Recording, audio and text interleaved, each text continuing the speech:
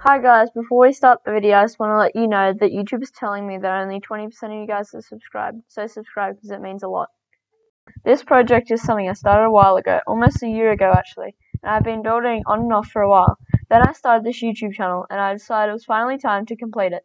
These pictures are the initial structure of the bowl. Thanks to David Jones for inspiring me to make this. You should definitely go check him out if you enjoy this video.